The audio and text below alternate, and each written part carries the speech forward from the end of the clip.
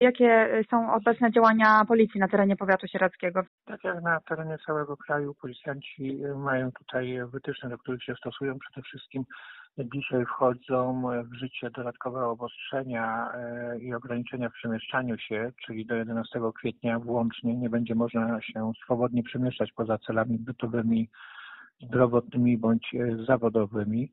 Można będzie natomiast oczywiście dojeżdżać do pracy, do wolontariatu, jeżeli ktoś działa na rzecz walki z koronawirusem, e, jak i również załatwiania spraw niezbędnych do życia codziennego, czyli udanie się do lekarza, przykładowo opieka nad osobami bliskimi, czy też również wyprowadzić psa. Ważną sytuacją jest również, że w autobusach komunikacji miejskiej, w autobusach powinny być zapełnione e, do połowy, czyli co drugie miejsce e, powinno być e, wolne.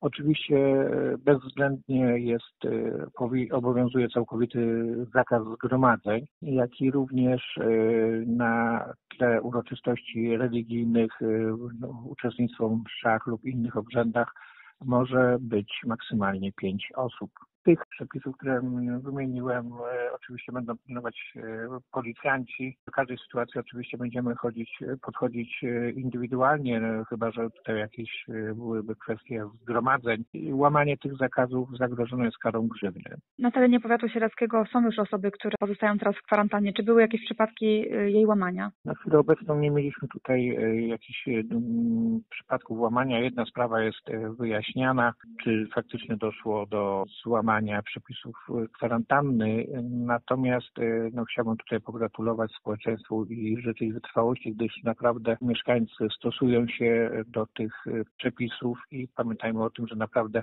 przestrzeganie ich działa na, na naszą rzecz, na rzecz osób dla nas najbliższych i, i pamiętajmy, że żeby tego pilnować, no jest to jeszcze kilkadziesiąt dni czy któryś tydzień wyrzeczeń, ale no chyba życie i zdrowie ludzkie jest bezcenne. Czy teraz w związku z tą sytuacją zdarzają się jakieś oszustwa na przykład na pracownika sanepidu?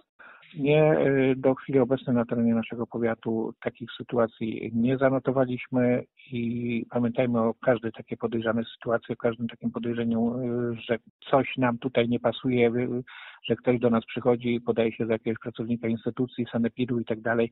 No w dzisiejszych czasach takie osoby po mm, mieszkaniach, po domach nie chodzą i dzwonimy oczywiście zaraz na numer alarmowy 112. Policjanci jak najszybciej podjadą i sprawdzą taką osobę.